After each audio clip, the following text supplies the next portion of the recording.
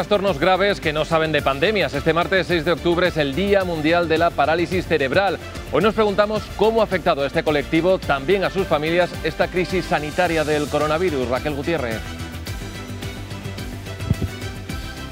Sí, pues les ha afectado sobre todo en que a muchos de ellos les han roto su rutina. Han tenido que dejar de hacer actividades, han dejado de recibir ayuda. En marzo, cuando empezó la pandemia, se cerraron muchos centros de día, incluso muchos de ellos pues, no podían ir a sus sesiones con los fisioterapeutas, que es algo fundamental en su día a día. Hoy nos vamos a acercar a una de estas personas, a Patricia, que nos va a contar cómo os ha afectado a vosotros el coronavirus. Pues aunque hacían las cosas telemáticas en mi centro de día y en la Fundación ENITE, que es a donde voy, pero no es lo mismo que verse y pues a mí esta situación del coronavirus me ha generado eh, mucho miedo. Tú has podido ahora volver al centro de día, ¿no? Lo han abierto en septiembre. ¿Y cómo ha sido volver a esa rutina? Pues con muchas medidas, lógicamente, pero eh, bien, porque ya parece como que volvemos otra vez.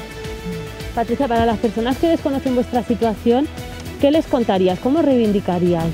Pues que yo siempre digo lo mismo, que somos personas con, como cualquier ciudadano, pero con algunas adaptaciones.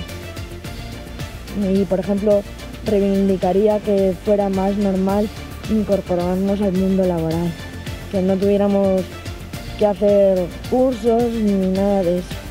Me comentabas que trabajas en la radio también, ¿no? En Radio Libertad, en, es un programa de, en el programa Bienvenidos, es un programa de radio normal, pero lo único que le hace diferente es que todos los locutores tienen algún tipo de discapacidad. Y tenemos junto a Patricia a su madre, María. ¿Qué tipo de ayuda recibir las familias?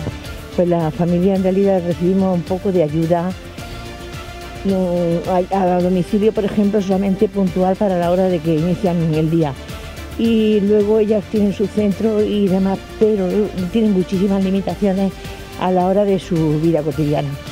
No, no pueden salir, por ejemplo, tienen su silla eléctrica, pero no se pueden desplazar con independencia porque no están preparados ni las calles, ni la ciudad, ni los...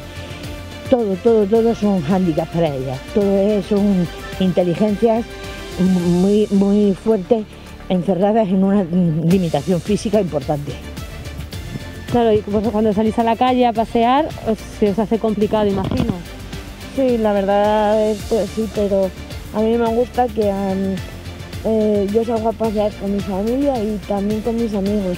Que, por ejemplo, cuando mis amigos no me, suelen traer a casa y cuando mis amigos no pueden, pues recurro a mi familia, como, pero pienso que eso es como cualquier joven más.